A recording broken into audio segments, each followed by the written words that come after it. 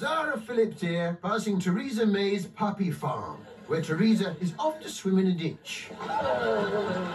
Whoops! You spooked her. Looks like Amber Rudd is up early and mucking out the Alsatians.